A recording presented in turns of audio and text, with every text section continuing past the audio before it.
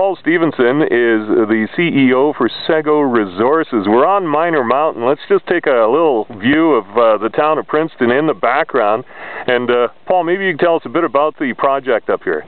This project is uh, an alkaline porphyry copper.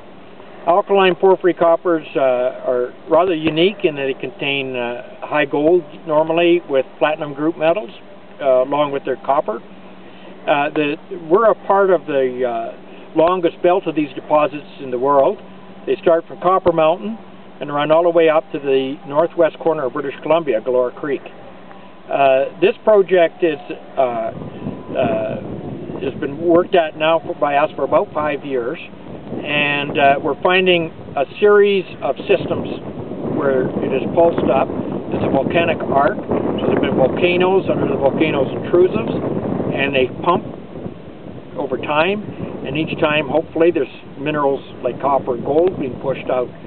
We found one large area of it just over behind this first little hill, and now uh, we've moved about uh, 500, 600 meters to the north of that and found more, and more of the porphyry system well uh, down at the bottom of this hill, and down into this corner above the sawmill We've actually, uh, in a trench, got up to one ounce of gold over one meter.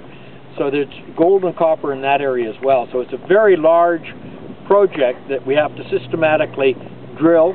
Uh, we're using a percussion drill first to focus, and then a diamond drill to try to develop a, a, a mineral resource here that could hopefully one day be mined. All right, so if anyone wants to find out more about your project, is there a website? Absolutely, uh, www.segoresources.com. Excellent, thank you so much.